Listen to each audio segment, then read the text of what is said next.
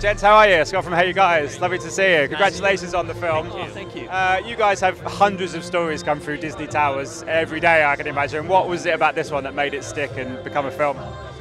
Well, this is a movie about hope, you know, and I think in today's world we need it more than ever, and that's what Disney represents. It's kind of like a love letter to Disney as well. It must have been great for, for someone like you who've been there for so long to see something like this come to the screen. You know, first off, we wanted to tell an original fairy tale with original characters, but evoke everything that makes a Disney movie feel like a Disney movie. So, yeah, we're very proud.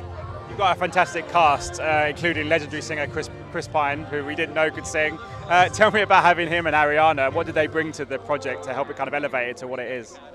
Well, they're both amazing actors that bring a lot of deepness to each character. Ariana is so relatable, and that's what we wanted from Asha. And Chris Pine has the charm, but can also become a real villain, you know? So they're just amazing. Did you know he could he could sing like that? Because people are so surprised. Everything, everything I read is about how surprising his singing is. You know, he's got a great voice. We knew he had performed in Into the Woods. We saw that, and he actually performed with Barbra Streisand. So we knew he had the singing chops to play this uh, part.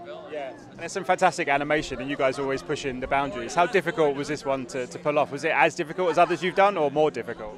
Uh, you know, we've got such a great team working on this project. We didn't know exactly how we were going to pull off the look. We knew the look that we wanted to achieve, but the artists working with technology really, you know, rose to the occasion and created something quite unique looking.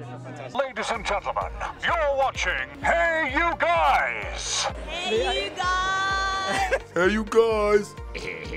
hey, that's what they all say. Hey, you guys! Hey, you guys!